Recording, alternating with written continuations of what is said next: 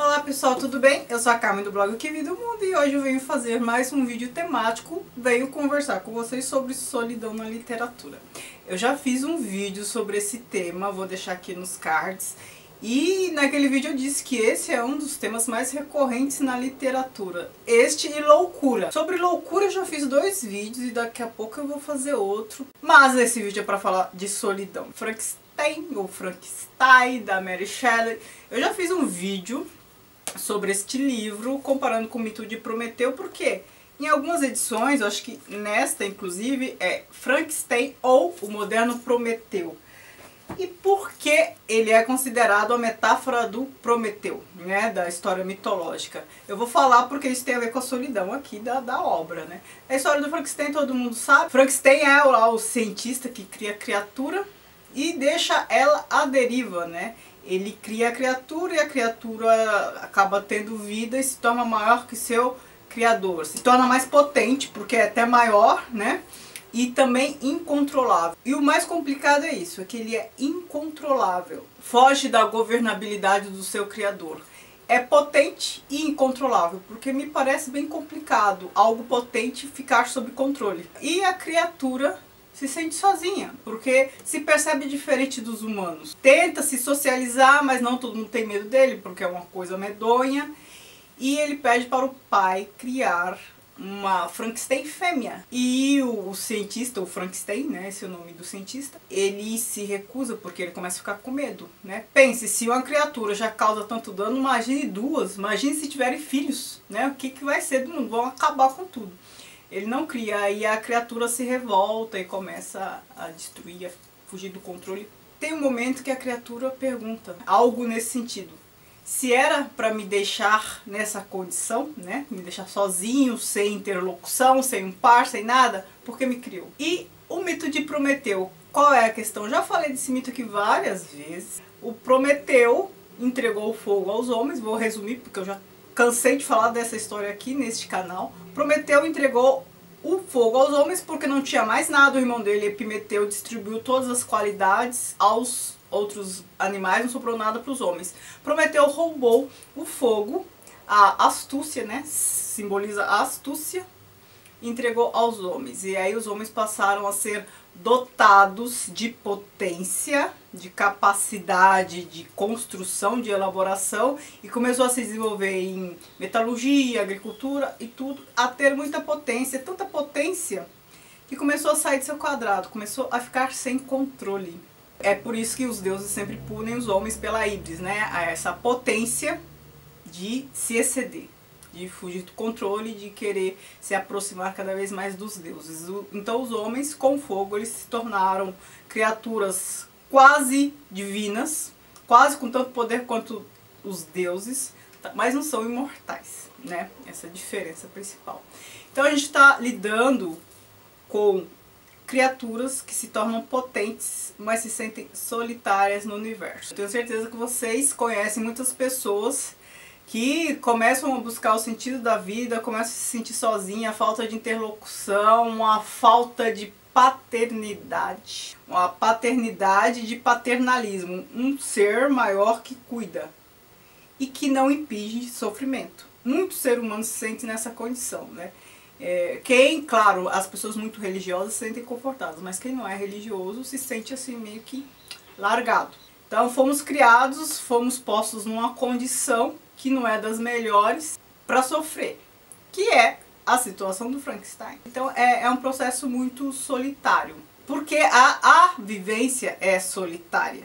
A vivência, a sobrevivência é solitária. Muita coisa você faz sozinho mesmo. E isso não pode ser sofrimento, né? Você dorme sozinho, você pode ter alguém do lado que você fecha, você tá sozinho. Quase tudo na vida você faz sozinho. Você tem que entender isso como algo positivo. Mas não é um valor positivo que nós atribuímos à solidão. Não é mesmo. A gente tende a achar algo triste, depressivo. E para muitas pessoas é mesmo, né? Então aqui a criatura do Frankenstein ela se sente solitária e é, de fato, ela não tem o igual, ela não tem seu par. É um processo de busca de identidade e busca de interlocução. Morangos mofados, eu ia falar morangos silvestres, olha só, do, o filme né, do Bergman. Morangos Mofados, do Caio Fernando Abreu. Aqui são vários contos, eu também já fiz um vídeo sobre este livro, vou deixar aqui para vocês darem uma olhada, sobre as minhas impressões, né? As primeiras impressões lendo Caio Fernando Abreu.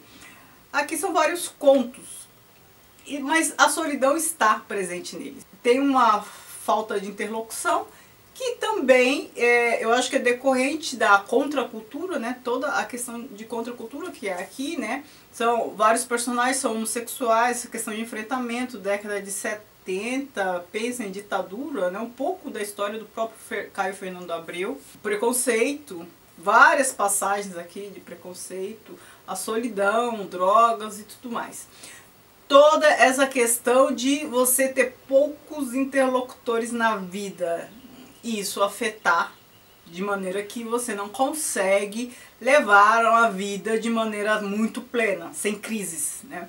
Então aqui há vários personagens assim, nesse limite de solidão, de drogas, de, de dor.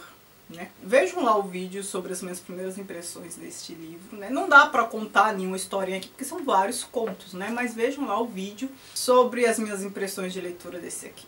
A Carne e o Sangue, da Mary Del Priore. Esse livro eu li recentemente. Aqui, na verdade, não é um romance. Aqui é um livro de história, né? uma historiografia, mas feita de maneira como se fosse romanceada. Ela usa uma linguagem bem próxima da linguagem da literatura.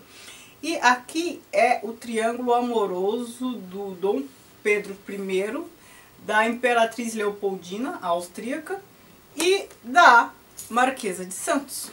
E ela conta toda a história né, de tudo que se passou com dados mesmo de fonte primária de historiografia. A maior parte da, das, do que ela conta aqui são coisas extraídas de cartas. Cartas principalmente da Leopoldina e tudo mais. Né?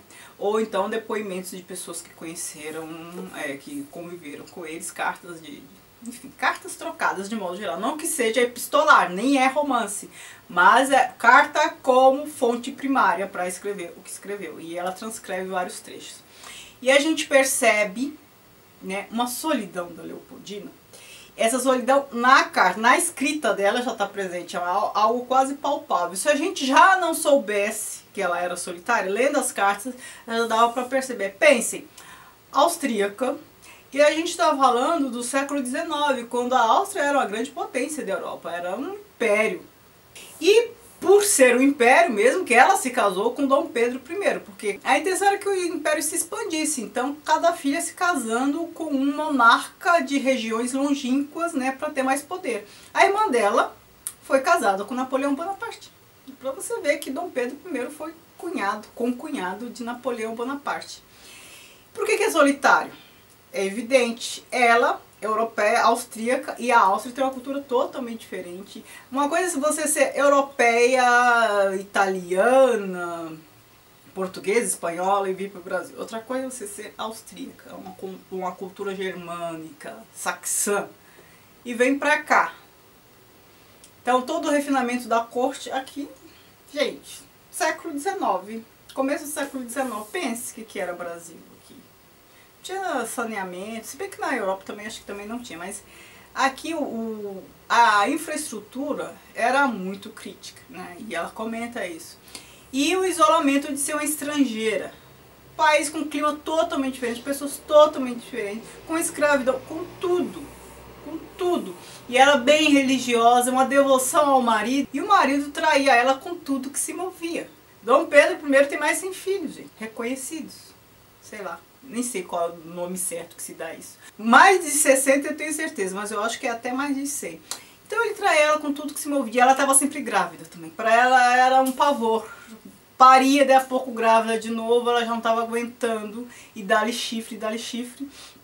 Mas a afronta maior foi o caso dele com a Marquesa de Santos. Que era assim, a olhos vistos. Ela frequentava a corte, ele assumiu uma filha que ele teve com a Marquesa de Santos, reconheceu a filha e a filha foi morar lá no Palácio de São Cristóvão, ficou lá sobre os cuidados da Leopoldina. Então, assim, foi muito desrespeito, muito desrespeito. Ela se sentia muito sozinha. A família dela na Europa também nem dava lá tanta atenção assim. E ela foi até que ela morreu. E ela morreu principalmente depois de um episódio aqui de afronta mesmo, dessa situação da concubina, da Teuda e Manteuda, que já estava até morando lá perto. Eu fui no Rio de Janeiro há pouco tempo e eu visitei esse palácio de São Cristóvão, que hoje, hoje acho que é um museu histórico. E lá pertinho era a casa da Marquesa de Santos. Eu fui lá também, você atravessa a rua, tá lá. Né? Sai do portão, atravessa, tá lá. Casa dela, pertinho, eles se comunicavam, ele ficava olhando ela de lá. Né? Eu só não entrei na casa porque acho que estava em reforma. Aqui em São Paulo também, a casa dela é aqui perto, eu vou a pé até. Então, assim, ela acumulou uma fortuna graças aos impostos que os brasileiros pagavam, né, na época. Sempre foi assim, né. E a condição da Leopoldina é ser de fazer dó, fazer dó, Dá-lhe chifre, dá-lhe chifre, dá-lhe filho, dá-lhe filho, dá-lhe humilhação e tristeza absoluta.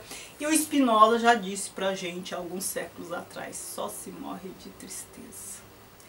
E Leopoldina morreu de tristeza por conta dessa situação. Então aqui eu tratei de três obras que apresentam solidão, só que uma obra muito diferente da outra, né? São formas de solidão, sempre nessa situação não de falta de pessoa por perto. Talvez Robson Crusoe não se sentisse tão sozinho como essas criaturas aqui. Falta de pessoas que as escutem, que as confortem, que pensem como elas, que tenham os mesmos anseios, que tenham as mesmas paixões no sentido de patos de sofrimento, né? Até mesmo sofrimento comum, que é para se solidarizar, não tem. Aqui no caso do Caio Fernando Abreu até que tem, né, outros excluídos, mas no caso do Frankenstein e da Leopoldina, solidão total. Então é isso, quando eu tiver mais três vídeos sobre solidão, eu venho e faço outro vídeo pra vocês com esse tema. Eu espero que vocês tenham gostado, não se esqueça de curtir, de me seguir nas redes sociais, de se inscrever no canal e é isso, que vi do mundo em todas as redes. Muito obrigada, beijos e tchau, tchau.